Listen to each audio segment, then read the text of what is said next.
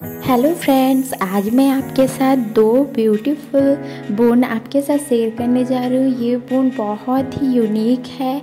ये बोन आपने पहले कभी नहीं देखा होगा और इसे बनाना भी बहुत आसान है। आप खुद से ये बोन बना सकते हैं। तो चलिए इस बोन को बनाना स्टार्ट करते हैं। इस बोन को बनाने के लिए सबसे पहले आपको एक पोनी बना लेनी है।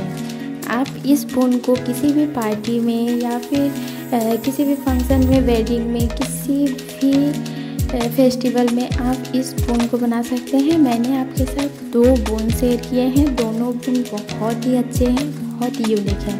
तो वीडियो के लास्ट तक बने रहिएगा। आप लोग देख सकते हैं कि मेरा पोनी हो चुका है। उसके ऊपर में आपको बस एक रबर बैंड लगाना है। रबर बैंड को दो बार बांधना बिल्कुल भी नहीं है, बस एक बार बांधना है और नीचे के बालों को इस, इसी तरह से मुड़ के नीचे में क्लेचर लगाना है।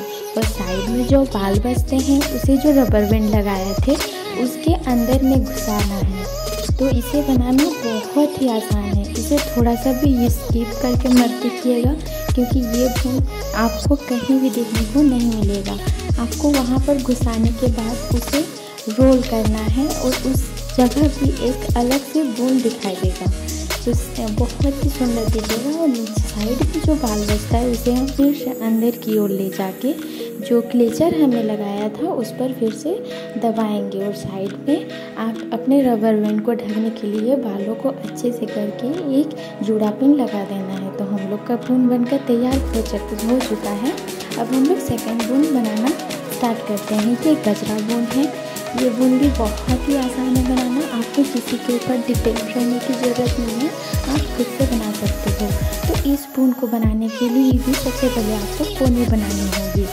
इस बूंद का आप साड़ी के साथ भी बना सकते हो, लहंगा के साथ भी कर सकते हो, गाउन के साथ भी कर सकते हो वेडिंग पार्टी करते हुए किसी भी फ़ंक्शन में इन बूंदों को बना सकते हो। और दिखने में बहुत ही यूनिक है, बहुत ही सुंदर है।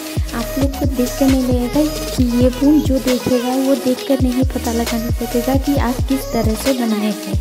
तो इसी तरह से मूँग को पोनी बनाने के बाद आपको तीन ब्राइड बना लेनी है। तीन बाल, बालों को तीन भागों में भाग करके उन्हें अच्छे से ब्राइड बनानी है। फिर ऊपर में क्लेचर लगाना है और गोल गोल राउंड करना है।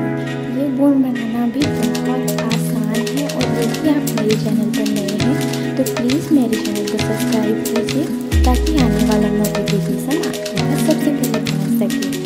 इसी तरह से राउंड करके साइड में आपको जूड़ा लगाना है और बाद में आपको गजरा लगाना है। आप किसी भी टाइप का गजरा यूज़ कर सकते हैं। ऊपर में गजरा लगाने के बाद आपका रूम और भी ज़्यादा अच्छा दिखने लगेगा और बहुत ही सुंदर दिखेगा। तो आप लोगों को कैसे लगा मेरा हेयर स्टाइल्स कॉमेंट करके ज़रूर बताइएगा और please like share and subscribe